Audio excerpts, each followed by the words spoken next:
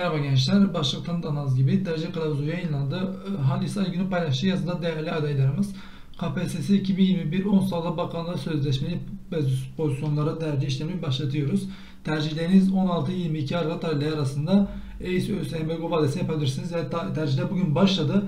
Ee, sanırsam haftaya çarşamba günü son evet. Bugün başladı. Çarşamba günü bitecek arkadaşlar.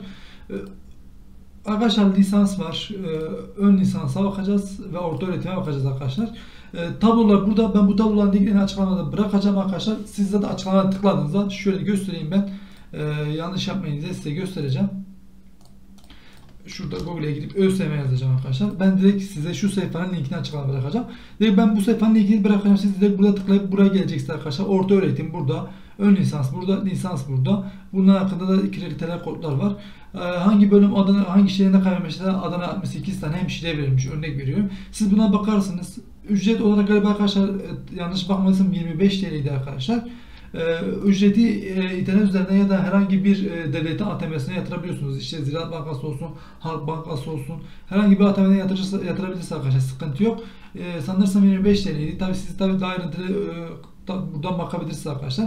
Ya, tabii ücret istiyor mu istemiyor mu bilmiyoruz arkadaşlar. Ben gidip tercih yapamadığım için bakamadım. Hani ücret istemeyebilir. Ücret istiyorsa da e, internet üzerinden de ödeyebilirsiniz arkadaşlar.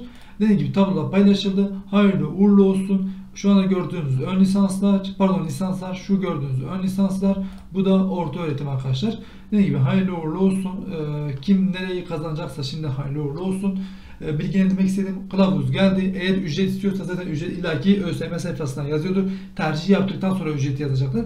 Ee, ücreti isterseniz onunla ödeyebilirsiniz. isterseniz ATM'den de ödeyebilirsiniz. Tabi ücret ister mi istemez mi belli değil. İstemezse zaten bir sıkıntı yok. İsterse de nasıl yapacağınızı size söyledim.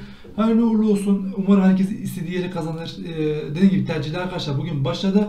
Ayın 22'si çarşamba gününe kadar son. Çarşamba günden sonra tercih yapamıyorsunuz. En geç haftaya açıklanır arkadaşlar. Pardon hafta değil ondan sonraki hafta açıklanır. Yani Ocak ayına girmeden sonuçta açıklanır ve Ocak ayına girmeden siz zaten işbaşı yapmış olursunuz. Hayırlı uğurlu olsun. Yorumlar kısmında yorumunuz varsa belirtin. Hoşça kalın. Sağlıkla kalın.